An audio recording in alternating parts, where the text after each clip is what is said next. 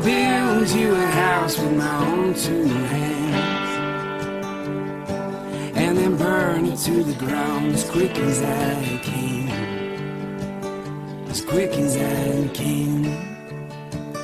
As quick as I can. As quick as I can.